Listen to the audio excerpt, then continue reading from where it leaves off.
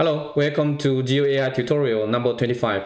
In this video, I'm going to show you how to load a model checkpoint to resume training. So basically, if you have trained the model for a while and something happened that it was interrupted, you don't have to start from scratch to train the model. You can load the existing model checkpoint to continue the training so you can save some time or you might be downloading the model checkpoints from somewhere and you can use that one as the kind of the um, baseline to st- continue the training rather than having to start from scratch. This can save you a lot of time.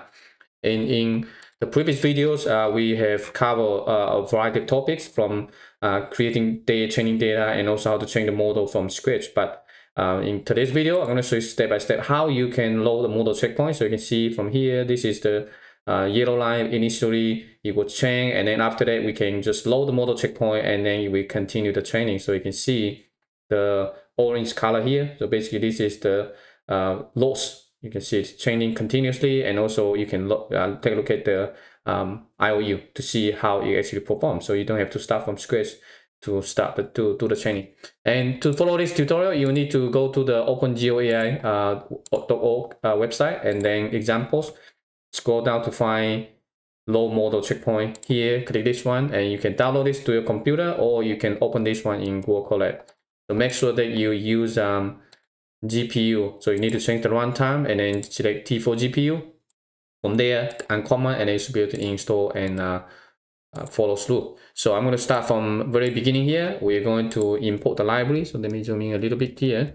I'm going to import the library and then let me see if you can zoom in a little bit. So import the library and then we're going to uh, point to the two sample data set. So we have the USDA NAIP imagery, um, the for training and also have the building uh, data set. And also we're gonna have the testing data set. So just run this and then we're gonna just import, uh, download the data to our computer. So just use the download file function. You should be able to download this to our computer.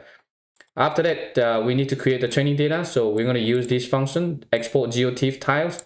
All we're doing is basically subdivide the uh, image into image pairs. So you have one imagery, you have the corresponding uh, mask you can specify the sample size. The stride basically is the moving window, the overlap. So uh, you can specify, for example, 256 or 128, uh, depends on what you want. So I'm going just to run this one as the default. And as you can see, it's basically subdividing your images. So this is image tiling uh, to creating the image chip. So in total, we have 36 image chips.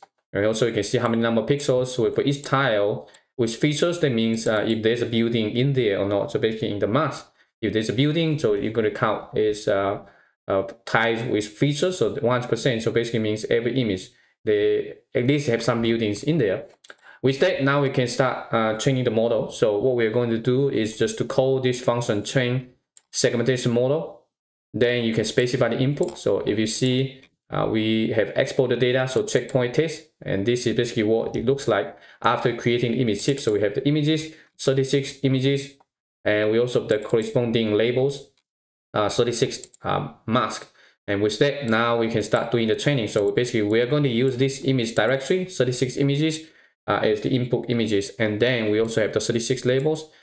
When we are showing the output, it's going to generate the initial training out, uh, uh, output model here.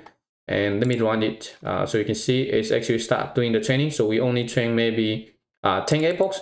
So the batch size, you can increase this one you have, if you have more um, uh, resources. So for here, we're just going to, oops, not sure why it's a little bit too small here. Uh, anyway, so we're going to use the U-Net architecture and also use the ResNet 34 as the encoder to extract the features and then use the ImageNet as the uh, training weight, uh, the pre-train weight. So we have three channels, so RGB. Also, we're going to have two classes. Basically, it's building, non-building, and then the batch size is how many images you want to fit into the model training at one time. And we have four images and then training for 10 epochs, save the base only, save to false. That means you're going to save the history, uh, also other stuff. So if you click this one, now you should see this is the result. So the base model uh, for every 10 epochs is going to save uh, that. So you, for example, if you train for 100 epochs, then you're going to have 10, 20, 30, 40, something like that. The final model is the last one. So it will be the epoch uh, 100, for example, if you train for 100 times, so in this case, we only train for 10 epochs, and we see from this one, And after that, you also have the training history. So this is the one where you can you use to do the plotting. That after we finish the training, we can plot the graph and also the um, summary is going to show you, for example, uh, when was completed, the architecture, how many epochs, and also the IOU, the dice, and the, the loss. So basically give you some basic information. You should also see this one, uh, the train curve. So this is the one that actually at the end is going to show you. Um, and so we have uh, basically we train for 10 times initially. And let me zoom in. Okay, so once you have this, now we can take a look at the uh, result here. So we already finished 10 training the 10 uh, epochs here. And the final IOU is 0.90, so it's not too bad. Um, in reality, you, you usually want to train a little bit longer, maybe 30, 40 times. Um, right now, uh, to save time, we only train for uh, 10 times. Okay, so once we do that, we can actually start doing the um, uh, running the inference. So if you want, you can just directly run the inference on data. But we are going to basically continue the training because we already have the basically the model um, checkpoint from here, base and also the final and also the um, checkpoint epoch number 10. So we have this, we can actually continue the training. For example, 10 times the result is not very good.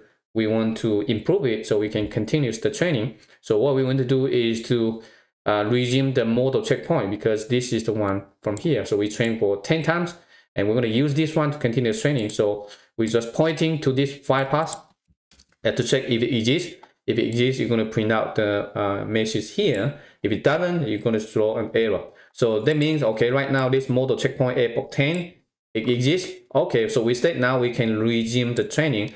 And it's the same as the previous function train segmentation model here. You, you see it's the same function. The only thing that's different is now we are specifying the checkpoint path. So if you don't know, you can space, uh, shift tab on your keyboard.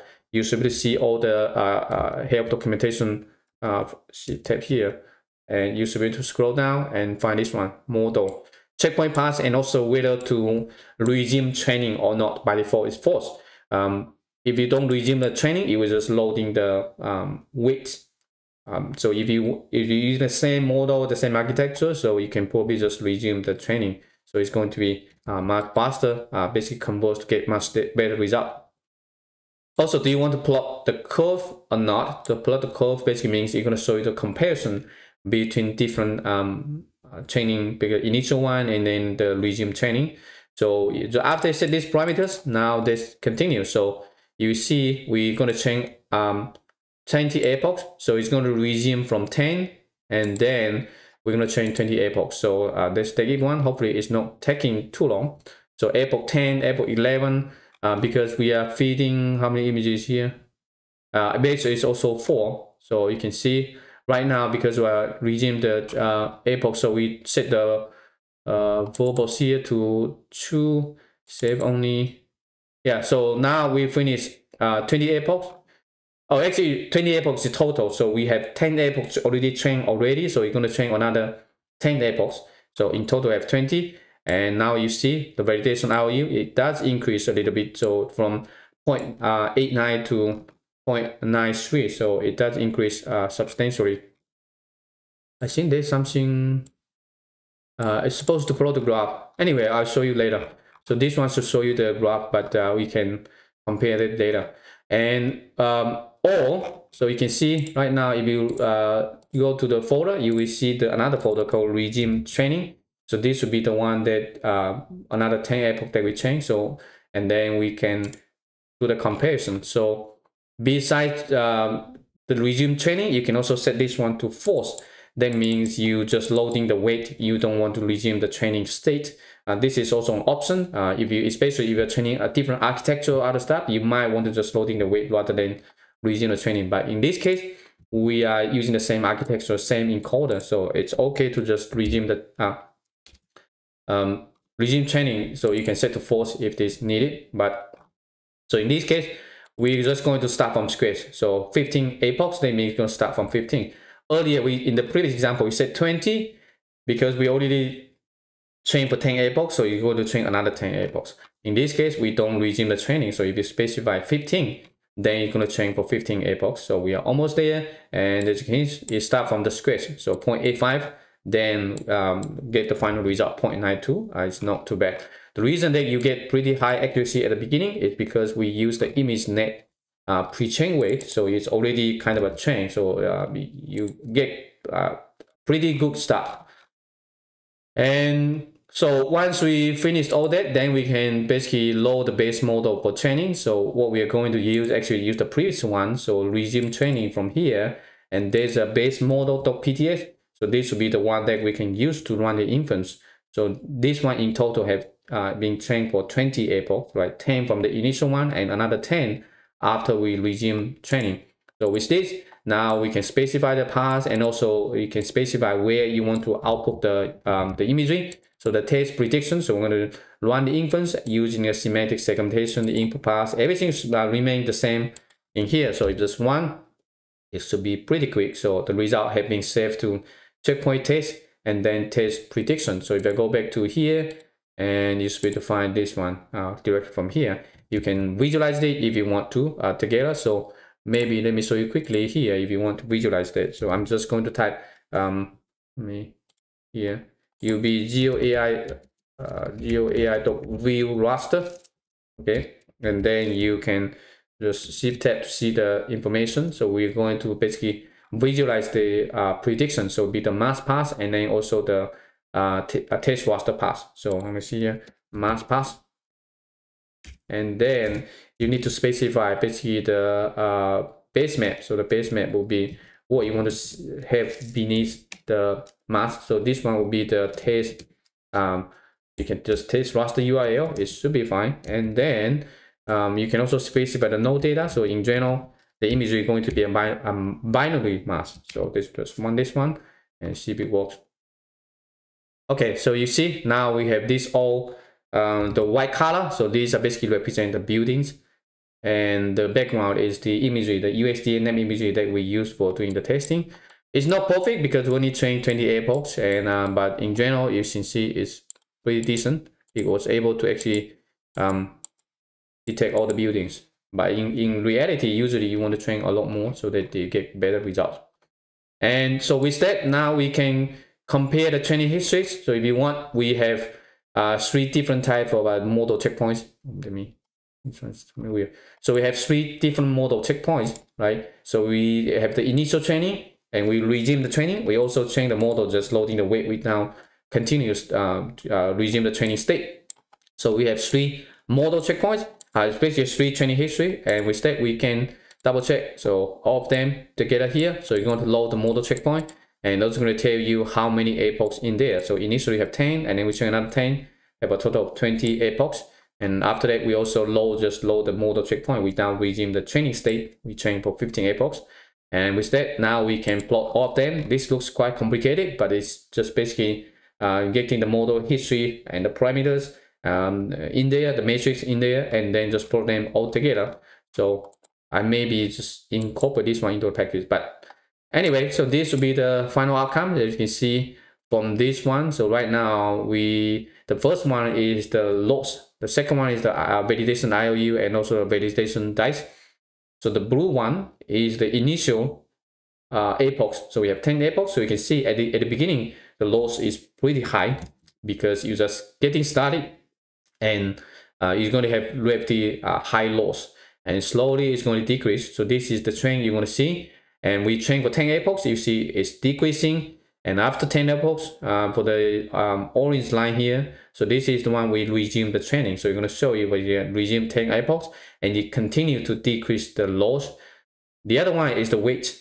So uh, we train basically for 15 epochs, we load the training weight. So you can see the starting point, the loss is already pretty high. And then it's going to continue the training and then decrease a little bit. So eventually these two should look pretty similar. If you move to the validation IOU, it looks pretty much similar but you can see the training training weight here fluctuate quite a bit uh, because it's only trained for 15 epochs, not regime training, just loading the weight. And so in general, the orange line here is uh, getting better result because it train not only regime the training but also loading the weight. So it's a combination of two. It's getting better, and the validation dice is kind of similar. Um, and yeah, so this is how you can load an, exist, an existing model checkpoint to resume training, or you can just load the weight And this can be particularly uh, helpful if you're training a large model and took a while and sometimes something stopped um, suddenly. If you uh, set this parameter, save base model only to false, you should be able to um, basically save all the every 10 epoch or something like that. So, and this is the one you need to specify. Uh, let me go script here.